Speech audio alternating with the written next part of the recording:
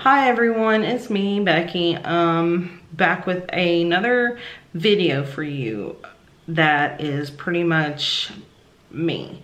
And this is something that I've been wanting to talk about for a while. It's just, you know, really hard to talk about something that has been, you know, quite painful. This is my, uh, the story of my coming out. Growing up my entire life, I grew up in a very uh, Christian household. You know, both parents went to church, my sisters, me, we, we went every Sunday morning, every Sunday night, and every Wednesday night.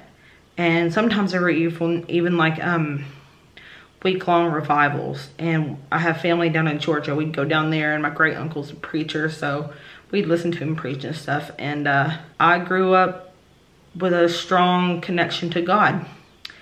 And also, along with that came my um, a, a little bit closed-mindedness. I mean, I know what it says in the Bible, but that's what I'm going to talk to you about. How hard I struggled to not be something that I was supposed to grow up disagreeing with. And I will say that I was homophobic.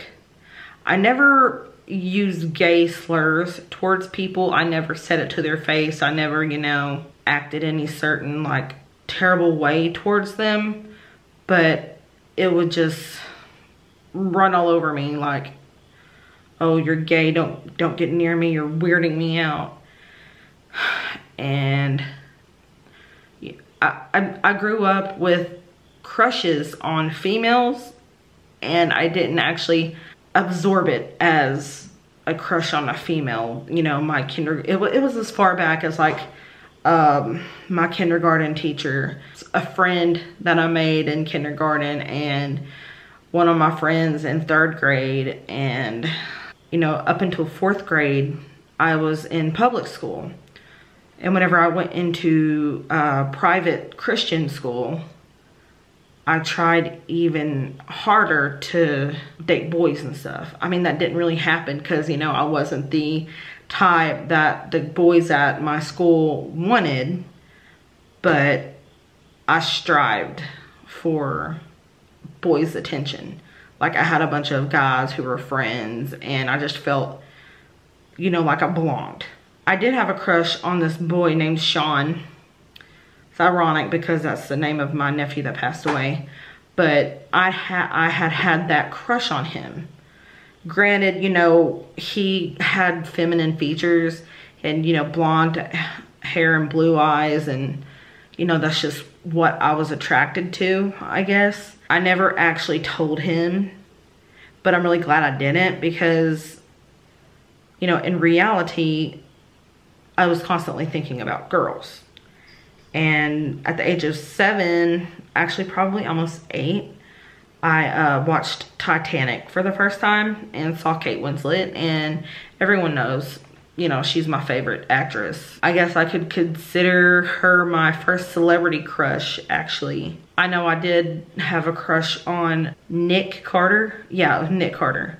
And all the Hanson brothers. But I mean, let's get real. All the Hanson brothers looked like girls anyway. So I, I stayed on this, you know, straight and narrow path I went through my little emo phase, you know, about 13 to around the time I actually graduated high school, maybe a little bit even after. Once I quit Christian school, because I had changed Christian to different Christian schools.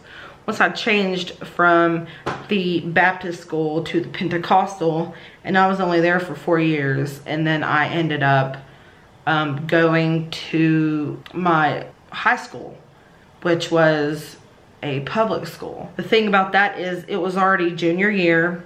I was being threatened to uh, put back, be put back into sophomore year if my grades dipped too much but I kept my grades up and I was able to stay in my junior year. Going there, the only friends I'd actually had was my cousin and her boyfriend who was a uh, quarterback on the football. He was the quarterback on the football team and I was really quiet and shy and I didn't really have any friends, you know. So I would just go to my first my first uh, period and talk to the English teacher, which was Mr. Cook, and he was really cool. And he was maybe I don't know six, seven years older than you know I was, and he was just a cool guy. And finally, um, about October in gym class, I had to take gym course because I was supposed to do that like sophomore, uh, freshman and sophomore year. And so I got shoved in with a bunch of the sophomores and freshmen. And I was eating lunch alone by myself one day. Then out of nowhere, two girls sit down in front of me and they introduce themselves and it's, you know, Brooke and um, Samantha. I didn't expect to make, you know, really good friends with them. It just, once we started going back to class, they would always tell me, you know, hey, come over here and sit with us. Come sit on the bleachers with us. So that it started to become an everyday thing. And, you know, that's how I met Eric was through Brooke. And then every morning, you know, we would all meet up in the library before the bell would ring and we'd have to go to our classes, stuff like that. I ended up failing science in the first like few months and I had to go to fall academy, which means, you know, I didn't get any of my fall break. It's just you had to go to school with all the other failing students and learn your subject that you've been failing. And that's how I met Chad and me and Chad moved really quick but you know that was mainly him. He was I'm not he was a great guy but it's like you know he seemed like he really really you know was interested in me. And nobody up until that point had really been interested in me. I was kind of just like you know the background quiet no one notices me type of person. And I started dating Chad well, during that period, Brooke was like, you know, oh yeah, I'm bisexual. And I got weirded out. I was just like, oh, okay, that's cool. Let me just scoot over here a little bit. I mean, I honestly, I felt weirded out by it. I didn't know why, except for the fact that I had been raised to believe that that was wrong and to stay away from it. But I didn't stay away. Our friendship grew stronger. She was like a best friend and then I started realizing that there was something more because I would get way too excited when I would see her and, you know, we just vibed really good together. We had a lot in common, you know. It was December, actually the day of my birthday, and I wrote her a letter and was like, you know, there's someone I like, it's actually a girl, and I actually described Brooke. And she wrote me a letter back and she's like, I don't want to jump the gun on here, but is that girl me? And she's like, it's probably not. It's probably Carrie. You know, I know how Carrie is with you. You probably like Carrie back. It's probably not me, but I wish it would be. So I had told her, I was like, no, actually it is you. And, you know, we talked a little bit here and there and eventually I came to the conclusion that, you know, every time that me and Chad would do anything or we would kiss because you know I'm I'm not 100% a gold star lesbian. I've done things and it was mostly with Chad. It just felt weird and unnatural and just completely wrong. I felt like a puzzle piece that was being shoved into the wrong shape and that puzzle was not getting finished because that piece was not going there and it's just like, you know, no matter how hard I tried, no matter how hard I cried, um, the things that I let him do that I wasn't comfortable with and that I would actually cry after about. Um, you know, some people could be like, oh, well, you know, that wasn't that him sort of taking advantage of you? I mean, no, it wasn't. You know, all he knew was that, you know, we were both agreeing to do it. But what he didn't know is after we would do it later on, after he was gone, I would feel really gross and disgusting and I'd cry about it. And I'm just like, this isn't right. This isn't me. And on New Year's Eve of, um, no, it wasn't New Year's Eve. It was actually January 1st 2008 me, I mean, I called him on the phone and I know it was a really crappy way to end our relationship, but I told him over the phone, I'm like, you know, I'm gay and it's not you. It's just, I don't want to be with a man.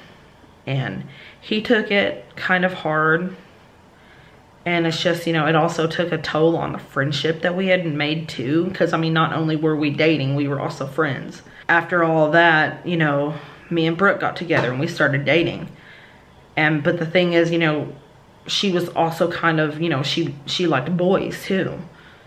And we, we dated on and off for quite a long time through the rest of um, my junior year into my senior year. It was actually February. Well, hold on. My sister, one of my sisters at the time was not accepting. Like she found um, a love note that I wrote to Brooke and she freaked out and she was like, you know, you're gonna swear on Sean's life that you'll never talk to her again.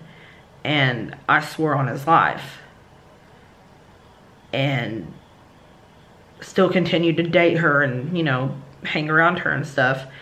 And February 22nd of 2008, she broke up with me.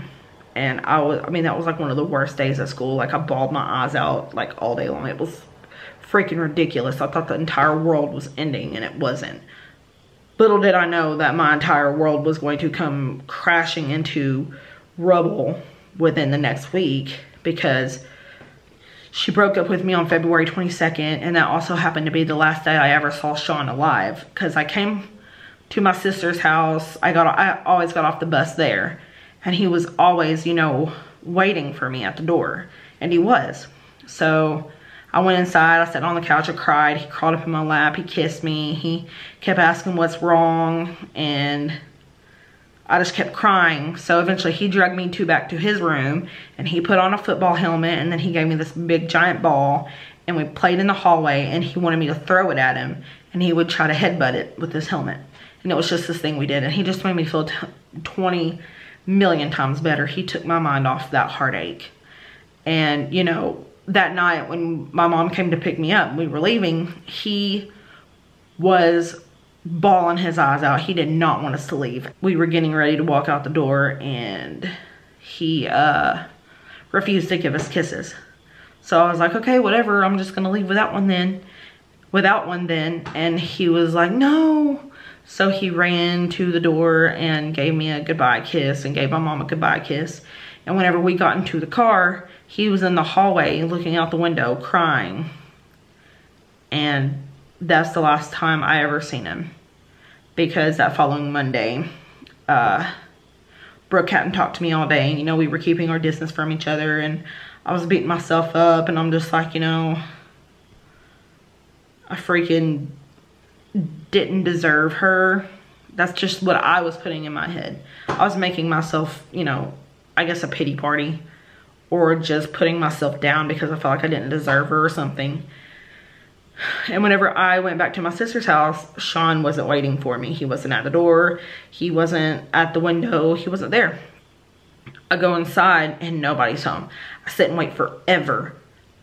It's pitch black outside at this point. It's like nine o'clock at night. No, no one's come home. Nobody's called me or nothing. Finally, someone calls and it's like, you know, Sean's in really bad shape. He's in the hospital. They're flying him to UK because um, he's got really bad pneumonia and they don't have the um, blood transfusions because most of my family is uh, O negative blood with the RH and that's what I am too. And we can donate to anyone else with any other blood type but no one else can donate to us except for our own blood type. It's weird. He wasn't getting the blood here so they sent him up there to try to get him better and during that, you know, whole week, it was just a nightmare. And then I ended up getting sick on Wednesday and staying home. And they actually showed my nephew's story on the news. Thursday came along, and that's whenever I uh, found out that he had died. We had his funeral. We, we had two wakes on Saturday and then Sunday. And then Monday was the actual uh, actual like funeral and then that's whenever they took him and buried him And then the next day I went back to school because I just couldn't stay home and feel numb and I wasn't eating. I wasn't sleeping. Like, you know, I just didn't want to live anymore. And mom was like, you need to go to school.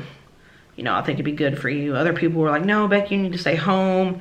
You need to recuperate, you know. But it's just like, you know, my mom and my cousin was like, you know, it might be a good idea for you to distract yourself, go to school, be with your friends. I went back to school and Brooke had heard what happened and then she ended up getting back with me. I don't know if it was just out of pity or what.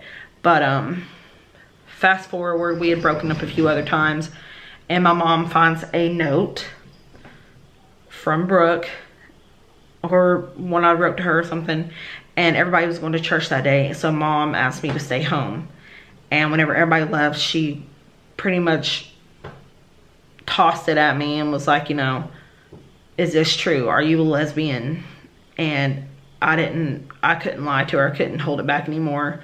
And she started crying really hard and she said a lot of very painful things that I've forgiven 100%, but it's something I can't forget because no child wants to hear their mother talk to them like that. I'm not going to say what it was because it was just, it was really bad mom and dad kicked me out of the house that night and I had nowhere else to go.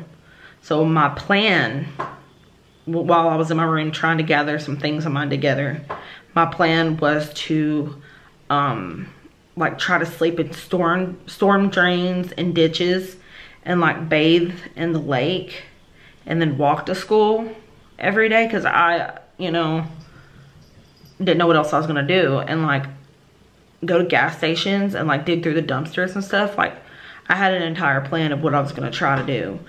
But before that that even happened, my sister, you know, last second was like, come stay with me.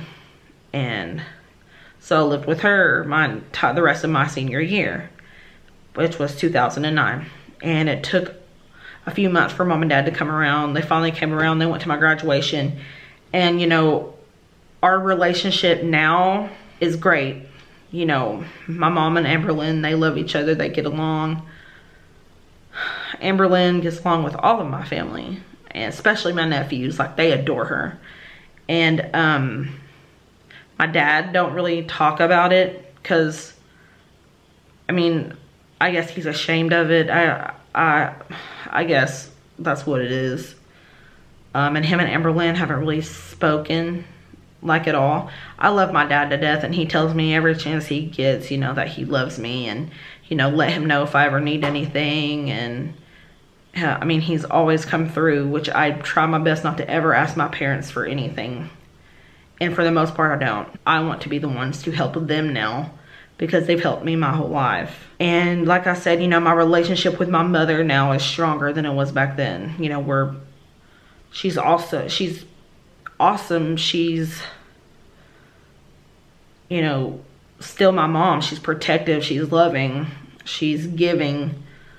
She's also, you know, like a best friend. You know, I can talk to her anytime I want. I can go over to her house, watch movies, play games. It's just, you know, anything. We're, we're close. And it's just like, it's kind of awkward with dad sometimes still. But that's because my dad's always kind of been an awkward guy. I don't know. A lot of people are scared of him because he's a, he's a pretty big dude. Not big. He's like big. And he, he was in the army and stuff like that. So, and he's got two tattoos on his arm and he's just like always kind of like quiet and stern. But if you get to know him, he, he cracks jokes and stuff. So he, he's got a sense of humor. That's my coming out story. And I'm sorry, you know, I didn't really go into detail with some of the things that was said because it's painful still to think about it. I don't want it coming out of my mouth. I don't want it, you know, if my mom watches this, this video, I don't want that shoved back in her face because she herself has apologized for the things that she had said during that day. She was just really hurt and really scared and she didn't know what to do. And um, she still doesn't agree with it, but she just wants me to be happy. So um, that was my coming out story and I will have more story times for you. Thank you and I guess I'll see you next time.